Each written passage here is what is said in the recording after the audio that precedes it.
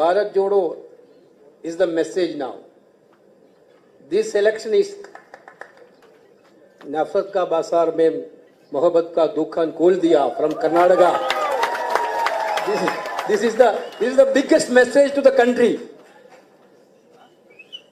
I, I don't want to tell much thing, but our Prime Minister tried to make it as a polarized election. Last, this eight, eight days he spent last eight days. Entire his speech.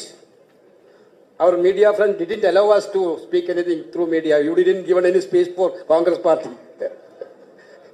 but entire his speech was only one thing, to make Karnataka people divisive. Karnataka people wholeheartedly rejected Prime Minister's proposal to make this election as a polarized election. I have been sincerely thanking the people of Karnataka